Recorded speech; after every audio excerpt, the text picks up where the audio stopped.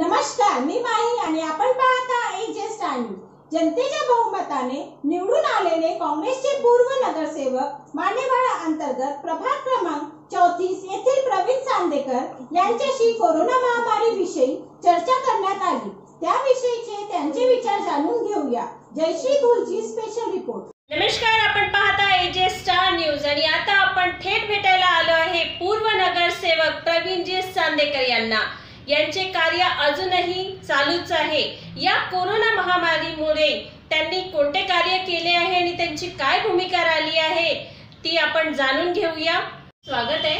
सगळ्यात पहिले तर आमच्या जनतेला हे जाण्याची इच्छा आहे की आता या कोविड नाईन्टीनमध्ये आपल्या या वॉर्डामध्ये कोविड सेंटर उपलब्ध आहे का आणि लोकांची टेस्टिंग होत आहे का? सध्या या शाहू नगरला कोविड सेंटर एक सुरू करण्यात आला जेमतेम या आठ दिवसा अगोदर. परंतु पाहिजे त्या प्रमाणात त्यामध्ये टेस्टिंग हो होत नाही आहे. बऱ्याचदा मी त्या भागामध्ये पाहणी केली असता मला असं आढळून आलं की या दक्षिण नागपूरचे आमदार मोहनभाऊ मते आहेत या वार्डाचे नगरसेवक आहेत यांनी सुद्धा त्याकडे जातीनं लक्ष द्यायला पाहिजे. परंतु पाहिजे त्या प्रमाणात ते सुद्धा या भागामध्ये ते लक्ष देऊ देत नाही आहे. त्याच्यामुळे लोकांना फार फार त्रास सहन करावा लागत आहे. दुसरं असं की आज गणेश चतुर्थी आहे. तर गणेश चतुर्थीनिमित्त सर्व या नागपूर शहरातील नागरिकांना माझ्याकडनं व माझ्या मा- मित्रपरिवाराकडनं त्यांना मी शुभेच्छा देतो. या करोनाच्या काळामध्ये संपूर्ण देशामध्ये संपूर्ण महाराष्ट्र राज्यामध्ये व्यापारी जे लोक आहेत त्यांना अतिशय त्रास सहन करावा लागत आहे. त्याच्यानंतर जे रोजमजूरदा नोकऱ्या गेल्या त्याच्यामुळे अतिशय कठीण परिस्थितीमध्ये आपण सर्व लोक जीवन जगत आहोत. तर याकडे शासना केंद्र शासनाने विशेष लक्ष द्यायला पाहिजे की ज्या लोकांची रोजीरोटी गेली आहे ज्या कामगारांच्या हातचं काम कामे गेले आहेत त्या त्यांना कुठेतरी त्यांना काहीतरी सहकार्य मिळालं या दृष्टिकोनातून केंद्र सरकारची भूमिका पा असायला पाहिजे.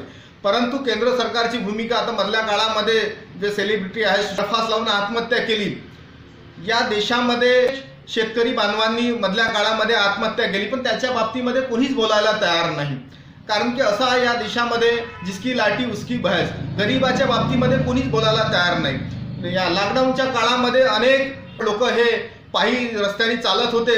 उपाशी तापाशी काही लोकांचा मृत्यू झाला परंतु त्याच्याविषयी कधीच मीडियामध्ये आलं नाही. तर या देशामध्ये जर लोकशाही आहे तर कुठेतरी काही चुकत असेल सरकारचा तर त्या विषयावर सर्वांनी एकत्र येऊन बोलायला पाहिजे. एवढंच मला या ठिकाणी बोलायचं आहे. मुंडे सर आणि जोशी सर यांच्यामध्ये एक मतभेद झालेला आहे. तर या मतभेदामुळे जनता आहे ती तर त्रस्त आहे. त्यांच्यावर काय त्याचा परिणाम होतोय? हे बघा कुठल्याही पक्षाची सरकार असेल परंतु जनतेच्या हिताच्या कार्य करत असताना कुठल्याही प्रकारचं मतभेद न ठेवता महापौर साहेबांनी सुद्धा आणि आयुक्त साहेबांनी दोघांनी एकमेकाला विश्वासात घेऊन कार्य करायला पाहिजे तरच कुठेतरी जनतेचा फायदा होईल.